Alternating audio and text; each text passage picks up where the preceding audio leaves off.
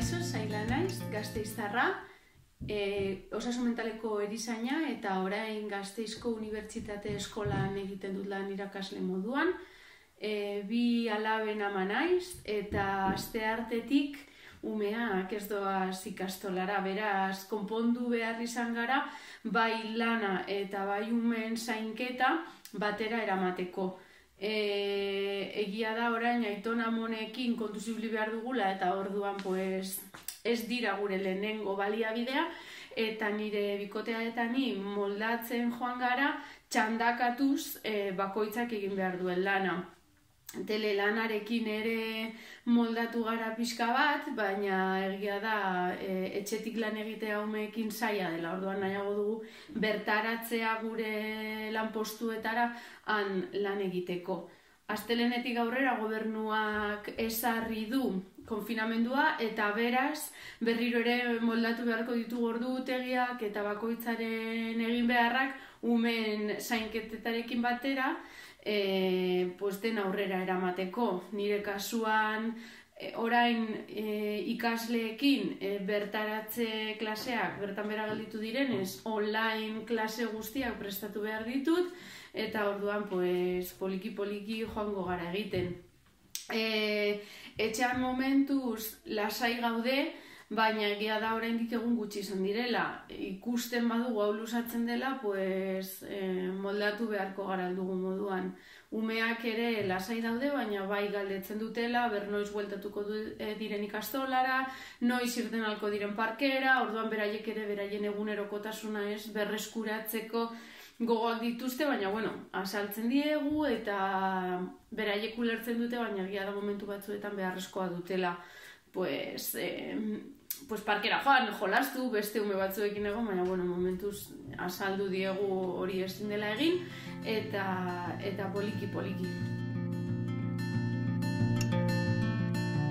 Zari eta garazi gara, gazteizen bizi garenak, bera agronomatan egizarte langile, eta bueno, bideonen bidez, ba, kontatu nahi dugu nola bizitzen ari garen gu, gure bizitzan, ez, koronavirusaren inguruan sortu den kontu guztia gazte izen bertan.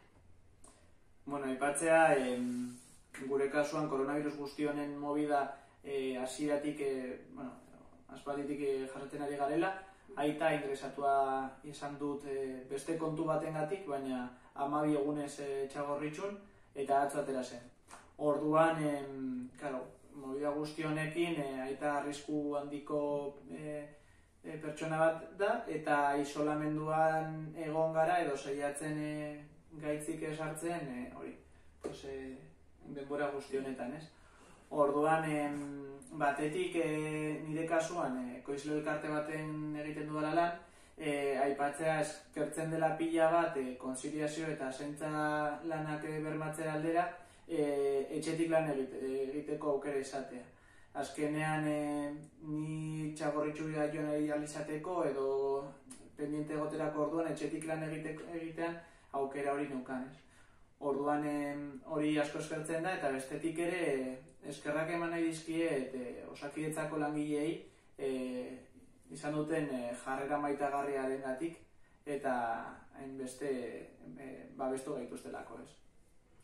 Bon, nire kasuan, e, arrera gizarte pisu batean bizi, oza, lan egiten dut, eta orduan, bueno, prinsipioz nire lan martza edo berdina jarraituko du izaten, azteren lan lanera joan barko dut, eta hor ikusiko dugu, ea instituzioetatik zelako protokoloak edo zelako e, neurriak hartzen direnez, nire kasuan, ba, nola lortzeko hor dauden pertsonak ba, benetako kuarentenan jarraitzea. Duan, bueno, ba, ikusiko da. Printzipioz nire kasuan, ba, lanera joan barko dut, eta bizitza pizkat normalizatua egin alko dut.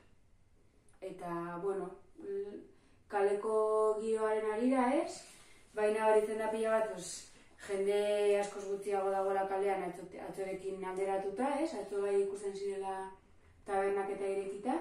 Baina gaur eh, nahitzen da denda guztiak edo gehienak itxi dituztela, jarratxaldean taberna gutxi batzuk eh, zeuden irekita, baina ez.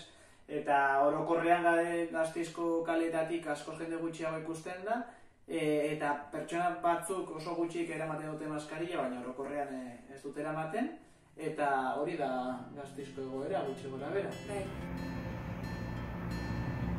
E, Jose Miguel Naiz, irakaskuntza publikoan irakaslea gazte izen, e, dakizuen moduan, aste hartetik ikasleak ez dira joan ikastetxara, baina bai irakasleak.